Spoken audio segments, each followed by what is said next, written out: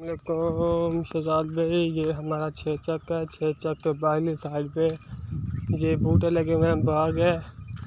और माशाल्लाह बहुत ही खूबसूरत बाग है। देखो, इधर भी बाग है। इधर भी बाग है। और इधर हमारा माल जा रहा है, माशाल्लाह। ये सड़क है छः बी सी की। और ये देखें, ये घास है। माशाल्लाह बहुत ही खूबसूरत माहौल है इधर, देखो। ये छः चक बहली साइड है बहली यहाँ फ़सलें हैं।